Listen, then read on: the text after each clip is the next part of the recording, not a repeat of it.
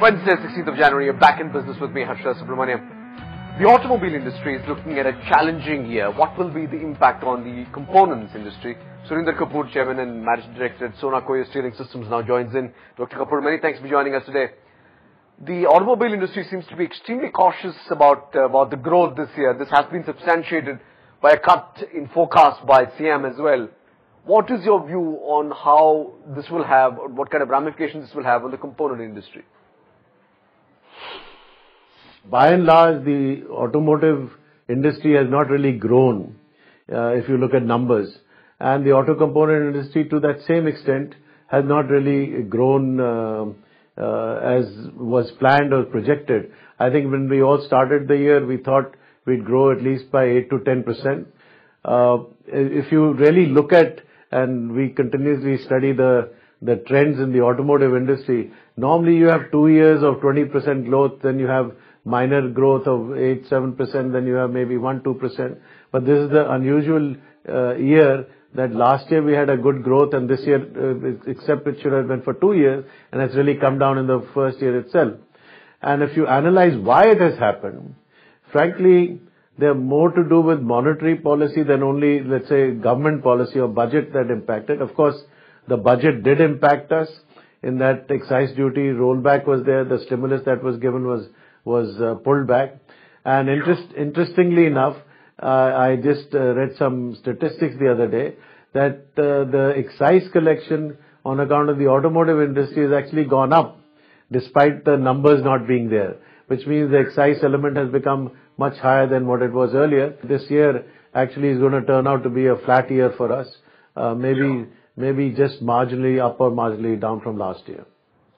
Kapur, uh, the uh, CapEx cycle overall has grounded to a halt. You had articulated that you want to be expanding your capacities. Can you give us a sense of how much do you plan to invest in? Are you seeing this across the component industry space? See, uh, I can't uh, tell you specifically about capacity this year. Uh, I think we are going by the Automotive Mission Plan, which very clearly stated that if industry does this and government does this, I think we'll achieve that plan. Uh, in that plan, there was a forecast of 5 million uh, vehicles, passenger car passengerized vehicles, uh, by 2015. Now, of course, everybody's saying that maybe 2016. So we are building up our capacity to that level of, and we, we believe that we should we will be more than 50%. We will acquire more than, retain more than 50% market share. So we are taking our uh, capacity gradually up from uh, up to that level of 2.5 or 3 million steering systems that we want to supply to the industry. As of today, we are actually going through a process of rationalization of our uh, production lines.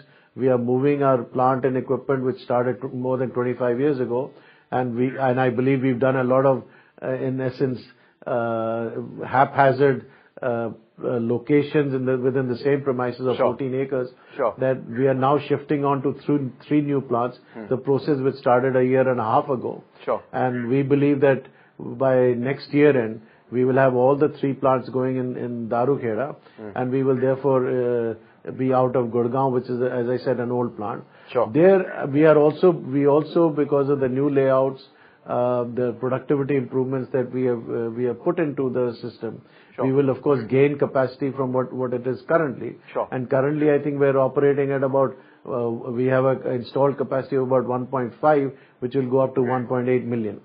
The, in terms of investments, we have over the last three years invested about uh, 250, 300 crores. And I think in the next two years, we're planning to consolidate those investments, uh, productionize them, and therefore we'll have much lower investments, about 30 crores, 40 crores each year. One final question, Dr. Kapur, and I find many of these auto component majors also shifting to Gujarat, and I understand you're setting up a dedicated parts facility for Maruti in Gujarat. What is your investment in this project? When do you expect this to come on stream? No, I think it's not correct to say that we're setting up facilities right now for Maruti. Uh, once Maruti fructifies its plans, most certainly we'll make a major investment in Gujarat. Uh, currently, we have a plant in Sanand, which is supplying to Tata for their Nano, which, as you know, has not uh, kept the volume forecast that they had. and Therefore, we are now expanding that facility to also uh, uh, manufacture there, assemble there, uh, steering for Mahindras, because as part of our future program, we have a substantial business with Mahindras, and we want to have it done in two locations, one in uh, the north and one in the west. Uh, similarly, for uh, Toyota, we're shifting some of the production down to Chennai, because it is closer to their plant in Bangalore rather than do it from here. Sure. We're doing this relocation, reallocation of capacity so that we can be closer to the customer and give them confidence of in where we have a major order and a single source, that we've got two locations to supply to them from. Sure. Dr. Kapur, we'll leave it there. Many thanks for joining us with your views. That was Dr. Surinder Kapur talking about his own company, Sona and also the auto component industry outlook.